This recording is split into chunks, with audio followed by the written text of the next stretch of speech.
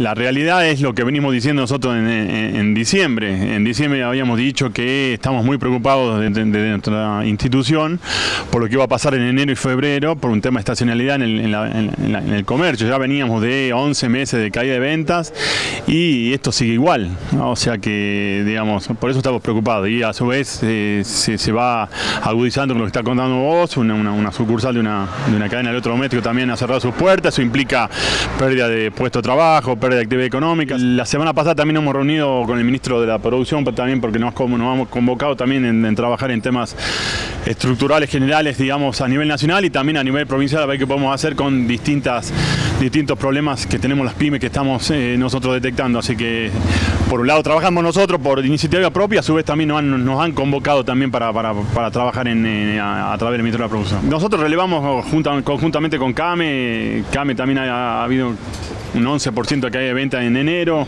Nosotros creemos que en, Jujuy es un, poco mayor, debe en un 15% más o menos. Eh, eso, esto es el monto que te estoy diciendo aproximado, pero yo creo que se, se, siente un poco más en Jujuy, digamos. Y, si no trabajamos en problemas estructurales como ser eh, tratar de, morigerar la presión tributaria, tratar de ver eh, o achicar la brecha que hay entre, entre el comercio informal, formal e informal, yo creo que va a ser muy difícil mantener, digamos, mantener la estructura de los comercios formales constituido. Así que lo que estamos haciendo es eh, trabajando y buscando alternativas a ver de qué manera los comercios y se puede hacer hoy en día, que es eh, hoy en día, digamos, es mantener los puestos de trabajo y mantener la actividad para poder mantener las puertas abiertas. Así que en eso, en eso estamos trabajando.